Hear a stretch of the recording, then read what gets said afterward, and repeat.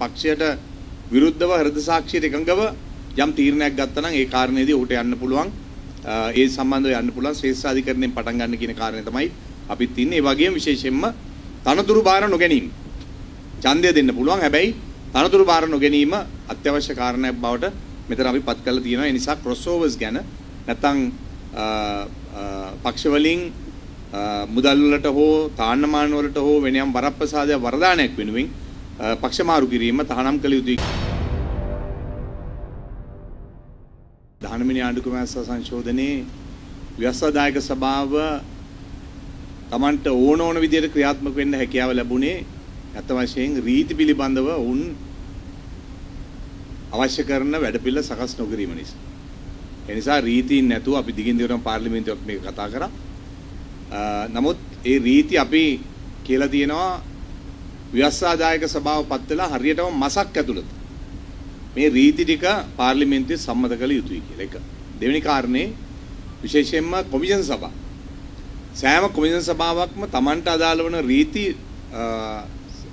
Gazette පත්‍රයක් මගින් දාලා ඒක පාර්ලිමේන්තුවට ඉදිරිපත් කරන්න කියන කාරණේ අපි මතු කරලා තිබෙනවා. ඊට අමතරව විශේෂයෙන්ම ජනාධිපතිවරයාට තබාගත හැකි අමාත්‍ය අමාත්‍යංශය ආරක්ෂක අමාත්‍යංශය පමණක් කියන එක. ඒ කියන්නේ අපි විශ්වාස කරන විදිහට රටේ රාජ්‍ය නායකයා විදිහට ජනාධිපතිවරයා තවදුරටත් සිටිනවා නම් ජනාධිපති ධුරය අහෝසි නොකරනවා නම් ඔහුට සේනාධිනායකයා විදිහට ක්‍රියා කරන්න යම් බලයක් අවශ්‍යයි. ඒ නිසා ආරක්ෂක අමාත්‍ය ධූරය පමණක් ඔහු දැරිය යුතුයි කියන මතය අපි ඉදිරිපත් කරලා තිබෙනවා. ඒ වගේම විශේෂයෙන්ම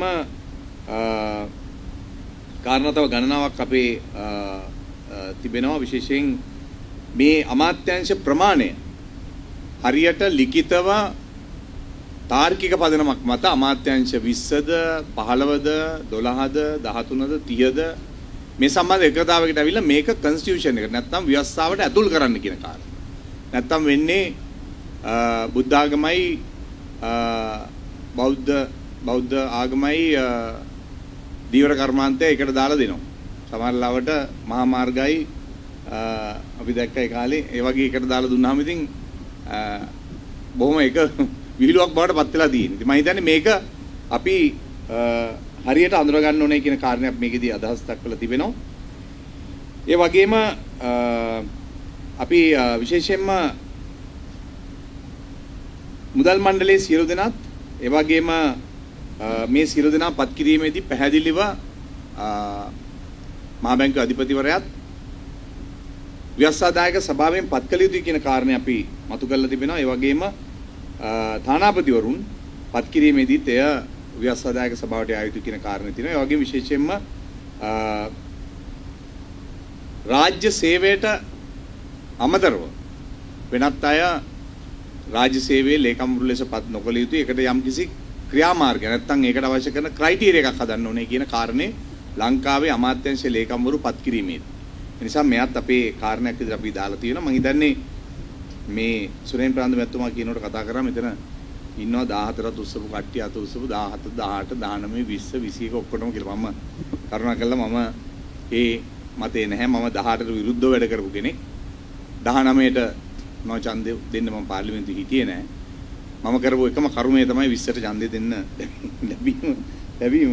නමුත් අර මම කියන්නේ ඒක ඇත්තට මේක තමයි මේ සිද්ධලා තියෙන මාත් ශිරාලක් දල මැත්තමත් කතා කරලා හිටියේ අපිට හෘද සාක්ෂිය පිළිබඳව කතා කරනකොට ඡන්දයක් දෙන්න උවමනාව තිබුණත් මේ පක්ෂ වලින් අපිව වෙල්ලා තියෙන වෙලීම නිසා අපිට සමහර ලාවට ගිහිල්ලා ඡන්ද දෙන්න සිද්ධ වෙලා තියෙනවා.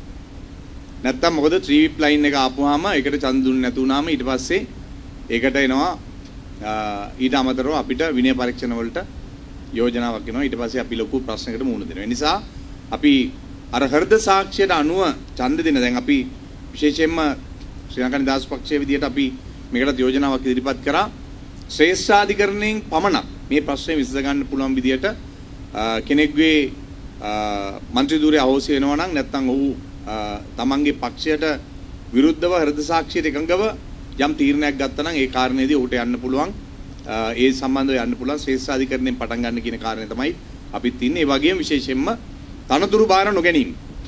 ඡන්දය දෙන්න පුළුවන්. හැබැයි තනතුරු බාර නොගැනීම අත්‍යවශ්‍ය කාරණයක් බවට මෙතන අපි පත් කරලා තියෙනවා. ඒ නිසා ක්‍රොස්ஓවර්ස් ගැන නැත්තම් පක්ෂ වලින් මුදල් වලට හෝ තාන්නමාන වලට හෝ වෙනයම් වරප්‍රසාදයක් වරදානයක් වෙනුවෙන් පක්ෂ මාරු කිරීම තහනම් කළ යුතුයි කියන 19 වෙනි ආණ්ඩුක්‍රම ව්‍යවස්ථා සංශෝධනයේ තිබිච්ච කාරණය නැවත ගේන්න කියන එක අපි ශ්‍රී ලංකා නිදහස් පක්ෂ විදියට බොහොම පැහැදිලිව ඉල්ලා තිබෙනවා.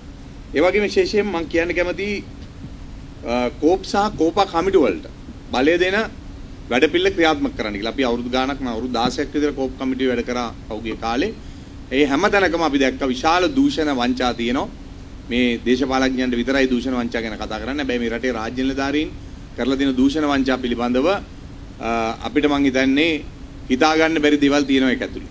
ඒ නිසා මං හිතන්නේ ඒවටත් යම්කිසි ස්ථාවර පියවරක් මේ කෝපා කමිටු වලට බාර දෙන්න කියන කාරණා.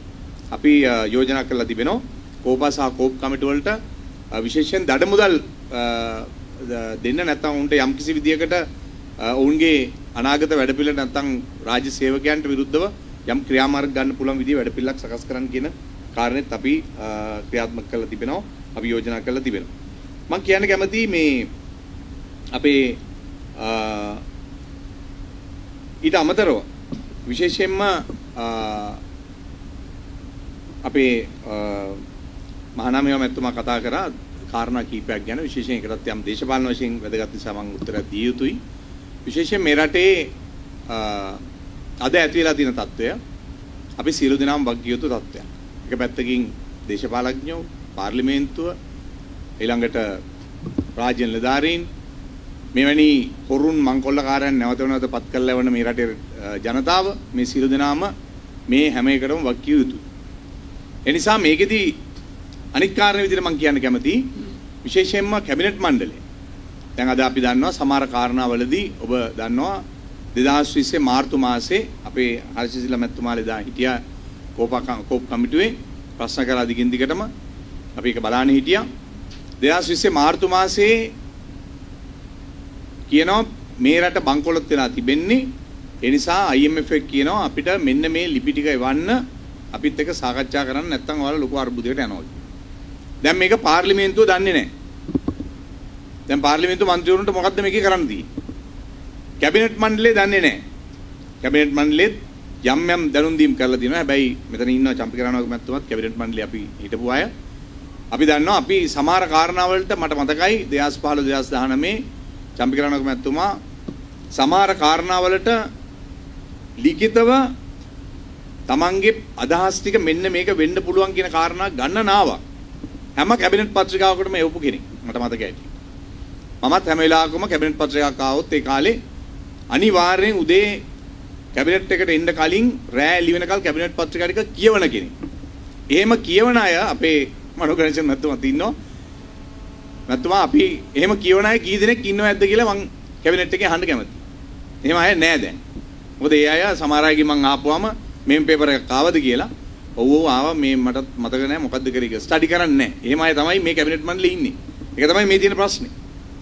ඉතින් ඒ නිසා කැබිනට් මණ්ඩලයේ වගකීම දන්නේ නැති කැබිනට් ඇමතිවරු මේ රට විනාශය කරා ගෙන යාමටත් එක පැත්තකින් වගකිය යුතුයි. හැබැයි මේ ආර්ථික අර්බුදය ඇති කරන්න මම අර ඊයේත් පුවත්පත් සාකච්ඡාවේ කිව්වේ මේ රටේ කවදක්වත් ජනාධිපති ලේකම් රටේ මූල්‍ය බලයට නැත්තම් ආර්ථිකයට අත ගහපු නැති කෙනෙක් කවදක්වත්.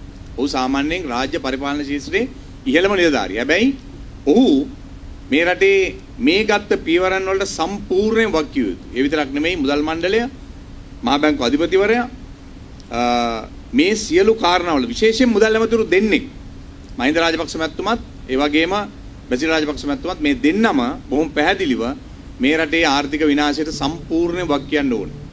මොකද හේතුව ඔවුන් දෙදෙනාට තමයි මේ 2019 ඉඳලා මේ පත් වුණ හැම අවස්ථාවකම මේ ආර්ථික විනාශය වෙනවයි කියලා දැන දැන ඒකට අවශ්‍ය කරන පියවරන් නොගැනීම පිළිබඳව වක් කියන්න ඕනේ. ඒ නිසා මම හිතන්නේ ඒකයි මම කිව්වේ මේ රටේ 225ම වක් කියන්න ඕනේ කියලා කියන කාරණය යම් තරමකට අපිට සාධාරණීකරණ කරන්න සිද්ධ වෙනවා වෙන හේතුවක් හින්දා නෙමෙයි. මේ තොරතුරු දන්නේ ඊටාම ස්වල්ප පිරිසක් බවට පත් වෙලා තිබෙන නිසා. ඒ නිසා මම විශේෂයෙන් මානාමය මැතිතුමාට කියන්න කැමතියි. අරගලේ අරගලේ එන්නේ ආර්ථික අර්බුදය නැත්තම් මේ ආපු පෝලිං වල ප්‍රතිඵලයක් ලෙස. එදිරින් පස්සේ සමාජ අර්බුදයක් බවට පත් වෙනවා. ඊට පස්සේ දේශපාලන අර්බුදයක් බවට දැන් පත් වෙලා තිබෙනවා. දේශපාලන අර්බුදයේදී අපිට මූලික වශයෙන් මේ රටේ ජනාධිපතිවරයා ගත්ත කාරණා තුනක් තීන්දුව තුනක් මේකට හේතුණයි කියන මතයත් එක තමයි ජනාධිපතිවරයාගේ බලය කප්පාදු කළ යුතුයි කියන කාරණයට මේක තල්ලු වෙලා තියෙන්නේ.